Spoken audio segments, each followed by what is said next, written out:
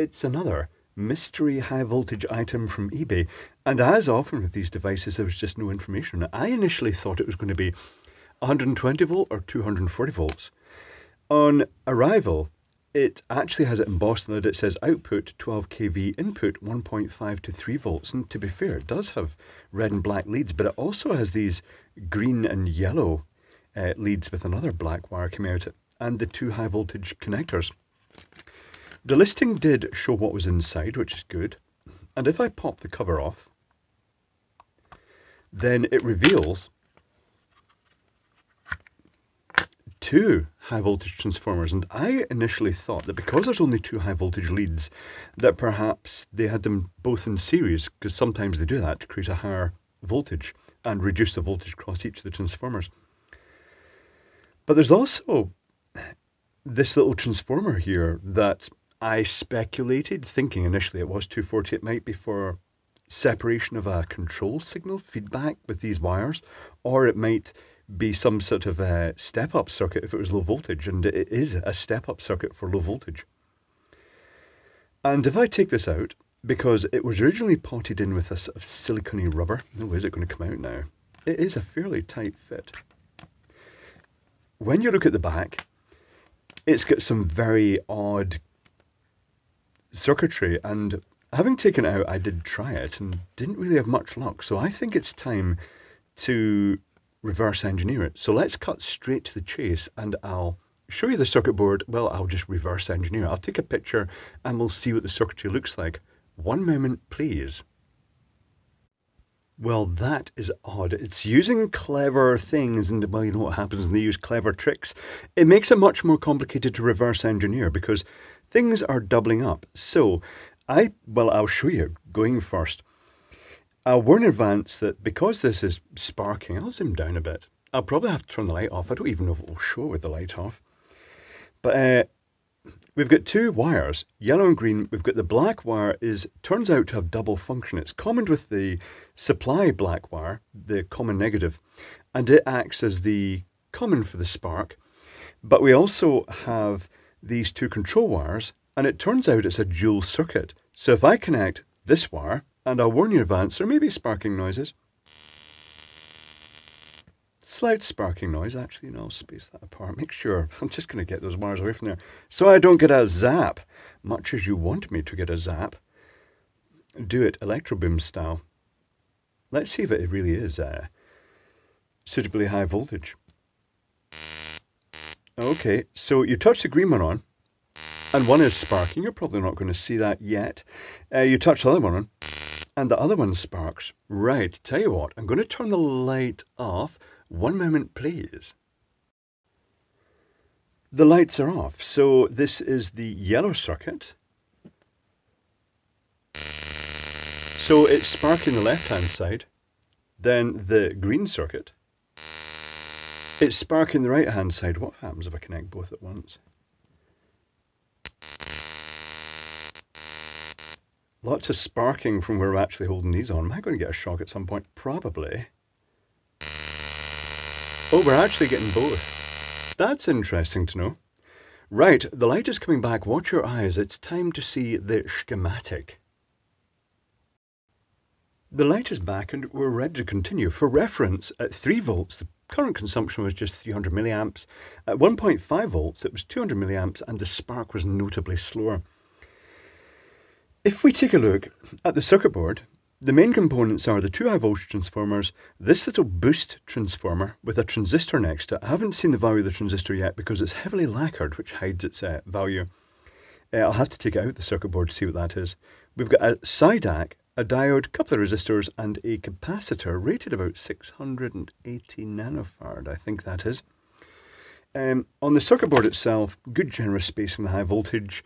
It's doing kind of double duty here. Uh, there's the capacitor that charges up via this diode, which I think is a 1N4007.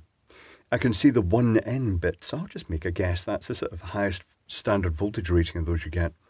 We've got a SiDAC going to the negative, but notice that uh, the negative is actually going out. So to complete the circuit, you actually have to physically, uh, well, in this case of this, for the feedback, you have to physically actually bridge one of the green or yet uh, yellows down to the negative rail, and that basically enables it because up to that point it draws virtually no current. Well, no current, measurable current, because there is no path. You know what? I think we'll just skip straight to the schematic. That's the best thing because it's going to make it much simpler than looking at the back of a circuit board.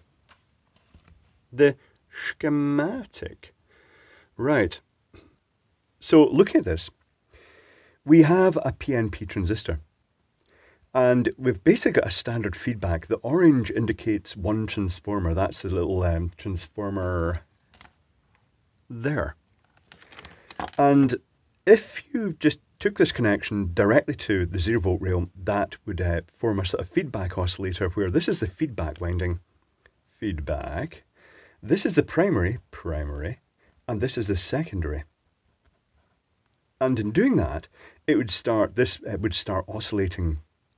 And uh, when it did that, it would step the voltage up and then charge this capacitor with respect to ground, but there is no direct ground connection until you push one of those buttons. But it would start charging that capacitor up until this SIDAC, little extra line to be drawn in here for the SIDAC, uh, clamped. Now the SIDAC is basically a bidirectional component that has a voltage threshold. It's used in a lot of igniter circuits. And once the voltage threshold is reached, maybe about 200 volts, it suddenly clamps on and shunts, causing a sudden current pulse until the current through it flows to, uh, reduces to close to zero and then it will shut back off again. So the operation of the circuit is this. When you press one of the buttons on the unit that bridges the green or yellow to the black terminal, which is connected to the chassis, which is also the spark return.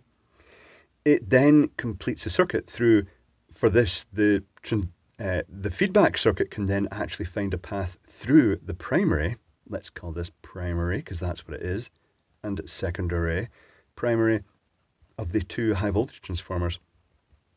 So when you push that button, current flows and it basically starts uh, the circuit oscillating, charge the voltage up on this capacitor until the SIDAC operates. Now there is a path, because you're holding that button and basically selecting that coil, there is a path uh, for this capacitor A to charge up and then B for when the SIDAC fires and shunts that, it dumps the energy in that capacitor in a closed loop and basically fires a lot of current through this primary and produces a high voltage in the secondary, creating the spark. If you push the other button, it also enables it, but uh, this time, because this is the call that's referenced to the zero volt rail, it's the one that will spark. Uh, when you see it like this, it's very, very simple. When you actually try reverse engineering the circuit board, it is not. It was quite hard to draw this schematic out. It took a few efforts to get it in a sensible style. Um, there's a 2 megohm resistor just designed to uh, discharge any residual charge in this capacitor. Although having said that, when you let go of the button, it's not really going to do that, is it? I suppose it could find a path back through the transistor. Uh, and there's also this uh, resistor here, which limits the current in the feedback circuit, and a little 2.2 nanofarad capacitor. That's it. Uh, interesting module. Is there anything else I can really say about this? Yes, there is. I shall pop the soldering iron on right now and I shall whip that transistor out and we'll see what that little transistor is in there. Is this capacitor discharged? Eh, yes, it is. Um, and we'll, I'll try and get the coating off that and we'll just see what it is. Just uh, for interest, one moment please. The transistor is out, it has been identified. It is an SS 8550. And that is uh, described as a PNP 25 volt, 1.5 amp a gain of roughly 200, and its application note suggests that it could be used in, as part, a push-pull uh, arrangement for a 2 watt radio amplifier. And yet I find the SS8550 in a lot of inverter designs, it just seems to be one of those things that it's found an alternative use. But that is it. So if you need a battery operated uh, double channel igniter where when you hold the button and it shunts uh, the contact, the green or yellow, to the case uh, that is also used as the high voltage return, then it fires that particular circuit. Say, for instance, just a, a dual uh, gas burner stove or something like that with electric ignition with just a couple of uh, double A's to run it. Well, that might be the perfect module for the job. So that is it. Interesting circuit uses clever but slightly shady. I mean, what happens if you open this switch just as it sparks? Well, just as it well, it, just as it sparks, and also it would be dumping a lot of current through that switch at the time. Could it actually start finding a path back through a transistor? Quite strange, but I guess ultimately it must be a proven circuit, so it must be okay. But that is another uh, electronic high voltage eBay special deciphered.